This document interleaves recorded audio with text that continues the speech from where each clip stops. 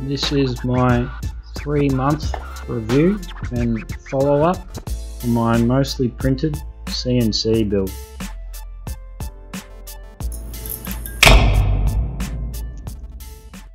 As you can see I've been quite busy using the mostly printed CNC and these are the results I've been able to get from the machine so far and considering it cost me well under $250 to build. I am quite happy. The first thing to shit itself was a laser diode which lasted about a week. And I've already ordered another one just because of how awesome it was. And it still shat itself even with a chunky CPU fan on the back of it. But I've been adding up the amount of money I've spent on two laser diodes now another hundred dollars and I could have got JTech Photonics laser which looks like much better hardware. In the end I also ended up making the wasteboard a separate island.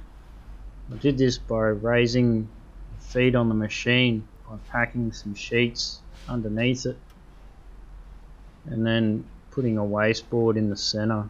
I've also gone around and sawed, hole sawed some 50 mil holes in and around the wasteboard so I can use clamps and other things around the wasteboard and this works great I'm also now at a stage where I'm going to have to design a new spindle mount. This one was designed for the Ozito router I originally got. However, it's a little bit too long for the Katsu. So what my next design will do will be to shorten this down to 70 mil so then I can hose clamp on a dust shoe to the bottom of a router. Another thing I'm going to be doing is I'm going to take away this attachment type screw fitting assembly I've done on the side because you'll notice when you press in on a pen it creates slop in the end of the pen so what I'm going to do with the spindle mount is I'll probably end up creating a flat side to it with nut locks on the inside of the spindle mount where you glue in some nuts and that way you can bolt on and off spring loaded carriages and other accessories and you don't have to remove the spindle mount to bolt on and off the accessories. I've also ended up designing some of these pipe clamps go on all four sides oh sorry go on four sides that way I can start the machine off against them I know it starts off square it also gives me a home point to return to. I've also added four more spring dampeners on each end of each belt. So now I've got two dampeners at both ends of the belts on all four sides. The vinyl cutter's been working really well considering I've just been using Estlcam. Although if you do know of any vinyl software that will work with a CNC machine, I'll be interested to hear about it in the comments below. One other issue I've had is that the Z-axis Z-axis doesn't reach all the way down to the spoil board so I constantly find myself raising up the flat surface even more so if you're starting your build you might want to go 30 or so mil longer on the Z-axis my cable arrangement's been working well.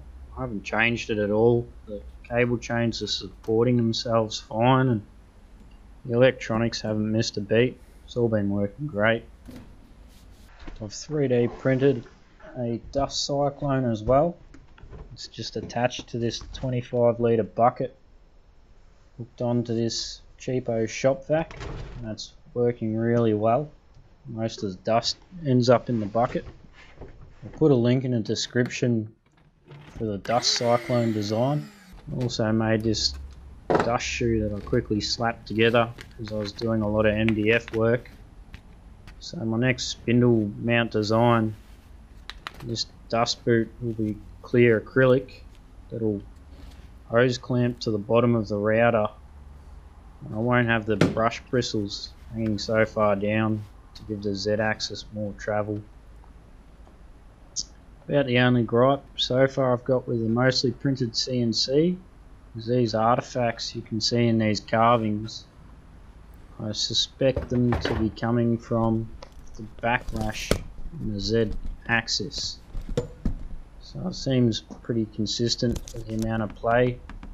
That seems to be on the lead screw the Z axis.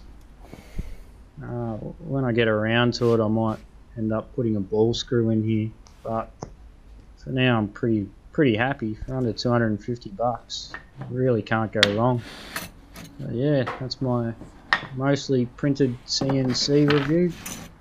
I'm very happy with the machine definitely as accurate as you can measure I'd say about a quarter of a millimeter same as a 3D printer Thanks for watching. Don't forget to like, comment, share and subscribe.